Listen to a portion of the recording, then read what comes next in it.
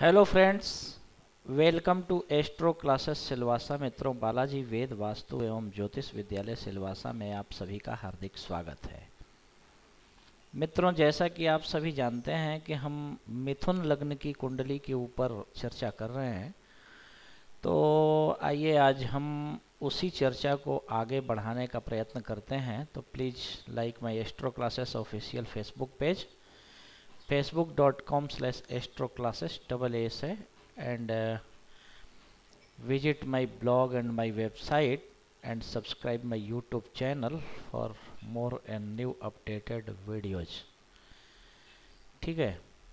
तो चलिए मिथुन लग्न की कुंडली के ऊपर आज हम पुनः शनिदेव के विषय में कुछ चर्चा कर लेते हैं कि अगर आपकी कुंडली मिथुन लग्न की है और आपकी कुंडली में, क्योंकि अगर मिथुन लग्न की कुंडली है तो मिथुन लग्न की कुंडली में शनिदेव जो होते हैं, वो यहाँ आप देख रहे हैं, अष्टमेश और नवमेश होते हैं। ठीक है?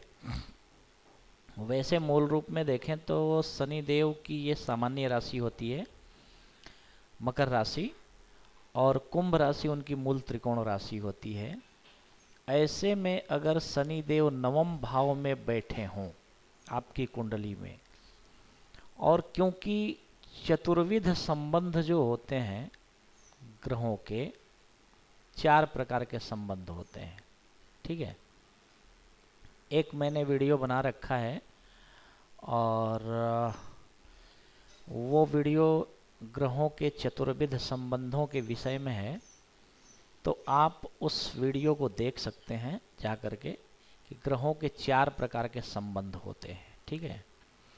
तो ऐसी स्थिति में यदि आपकी कुंडली में शनिदेव नवम भाव में बैठे हों और सूर्य और गुरु, ये दोनों अगर ग्यारहवें भाव में बैठे हों, क्योंकि सूर्य जो होता है, इस कुंडली में तृतीयेश होता है, और बुद्ध जो होता है, इस कुंडली में लग्नेश और षष्ठेश होता है तो सूर्य क्योंकि धन और प्रतिष्ठा का कारक ग्रह माना जाता है, दसम और ग्यारहवें भाव का मालिक कारक भी माना जाता है, पंचम भाव का कारक भी माना जाता है। पंचम भाव को यहाँ बैठ के देख रहा होता है। ऐसी स्थिति में लग्नेश के साथ भाई बहनों के सहजेश की युति, सहज भाव के मालिक सूर्य की युति और भाग्येश का भाग्य भाव में होना, ये आपकी आपके जीवन में ज़बरदस्त परिवर्तन का योग बनाता है और श्रेष्ठतम प्रसिद्धि ऐसे जातक को अपने जीवन में प्राप्त होती है, तथा ऐसा जातक जो होता है विश्व विख्यात कीर्तिमान व्यक्ति होता है। ठीक है?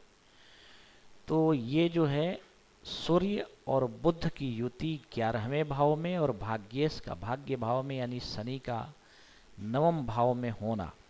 मिथुन लग्न की कुंडली वाले जातकों के लिए बहुत ही बहुत ही श्रेष्ठतम फलदायी सिद्ध होता है। इसमें कोई संशय नहीं है। तो please subscribe my YouTube channel for more and new update videos thanks for watching bye and take care thanks